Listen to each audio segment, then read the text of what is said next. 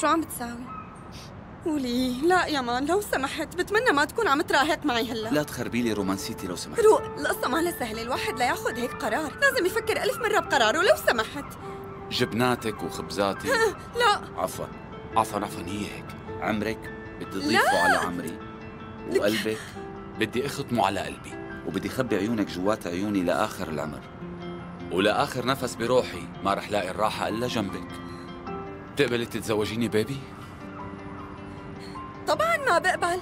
وليش بالله؟ لا وكمان رايح جايب خاتم بألماسة وحدة. إيه ألماسة. وليش ما عجبك؟ قالوا لي هاد موديل السنة. أكيد ما عجبني طبعا. حافظ لي كلمتين من النت وناديت لي على؟ السطح. فرد مرة جيب طيارة ونزل قماشة مكتوب عليها تزوجيني. فكرت فيها وما حتعجبك.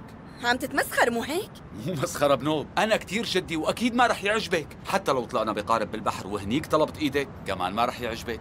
لو طلبت إيدك وأنا عم نط بالباراشوت كمان ما رح يعجبك. بالباراشوت؟ شيليني من هالقصص أنا بعرفك رسوم. انت ما في شيء رح يعجبك ابدا. يا ستي حتى لو عم نط بالباراشوت وعم بقرأ لك لشكسبير بنفس الوقت أحلى أشعاره ما بيعجبك. عم أظلمك شيء ابدا. لا تعلي صوتك. شلون بدك يعني أحكي؟ اللي شهر عم فكر بهاللحظة. شهر بكامله يا تيسي وما قدرت لاقي شيء ممكن يعجب مخك. تنح. قال مشكلة مني يعني. مزبوط المشكلة منك وفيكي.